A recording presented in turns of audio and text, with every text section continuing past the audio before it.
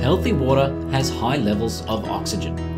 Without it, your water can start to smell or taste poorly. Basically, without oxygen, your water is dead. When your tanks fill up with rain, the water is naturally oxygenated in the atmosphere. But over time, as the water sits idly in your tank, oxygen levels are depleted.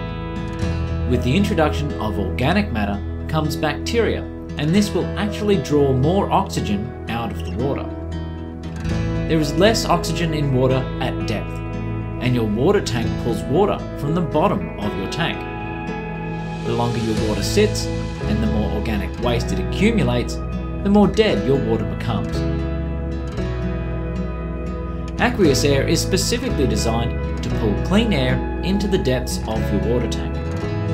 Your water will be circulated with oxygen to bring it back to life. Requiring only half an hour to an hour a day, you can keep your water alive with AqueousAir. Breathe life back into your water.